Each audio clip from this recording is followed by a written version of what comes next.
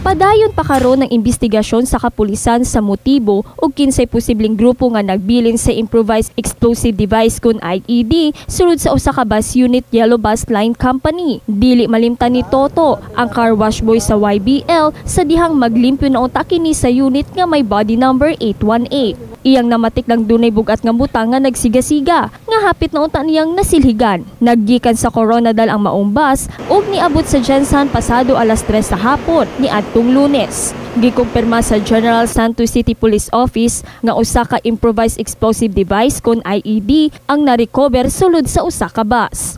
Doon kini 9 volts nga battery, improvised blasting cup, 9 volts ball connector, ug fragmentation hand grenade MK2 ug dali kining detonate. So our EOD team had conducted the in the first place they had nagresponde sila.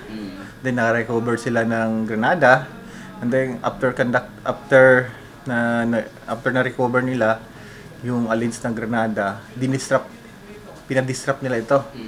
So after after the disruption of the this granada, nag-conduct sila ng post-blast investigation And then sa resulta ng post-blast investigation, indeed it was improvised explosive device.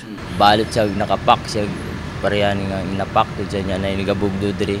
Nasulod din ako kung nauna nga kuan improvise ba explosive bomb ano. Siyempre, una na nga pangalan, madok na yung ka kay bumbago daw, bumbago na. Ma, magimaw man nag-blink mangudya.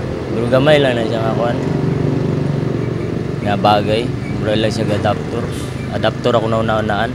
Bisan pa man og giklaro sa mga opisyal sa Dakbayan nga halayong pagpanghulga sa syudad ang motibo sa nagbutang sa eksplosibo, panhugot nga seguridad ang ipatuman gilayon sa kapulisan.